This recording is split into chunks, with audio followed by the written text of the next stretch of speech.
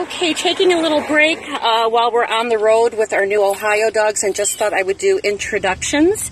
Um, I want to uh, say that our foster home's children have named these dogs, so we're very appreciative of that. This little girl is Harper. Okay, Harper is four to six years old purebred Cairn. As you can see, she's very, very leery. Um, she will accept pets, but as you can see, she's not thrilled with it. So she's going to need a lot of socialization, a lot of human interaction, but a very, very sweet girl. That is Harper. And just underneath Harper, we have Hazel. Love the name.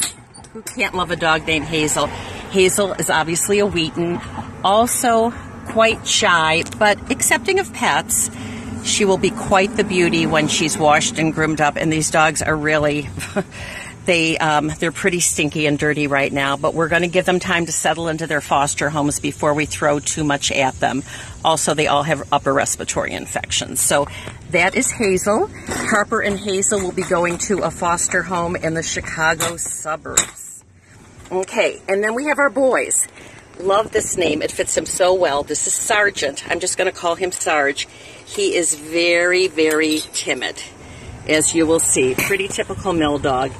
Um, well, actually, he's, he retreats in his crate when you try to pet him, but he's inquisitive and he seems interested in his surroundings, so we're not going to bother him too much. Um, but he's a very sweet boy, and uh, he'll be a great pet someday when he uh, when he gets a little bit more used to human contact.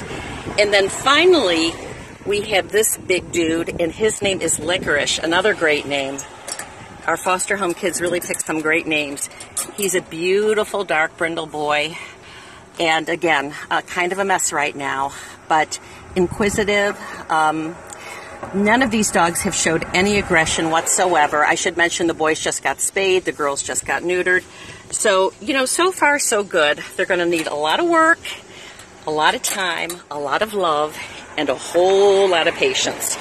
And those are our four Ohio dogs.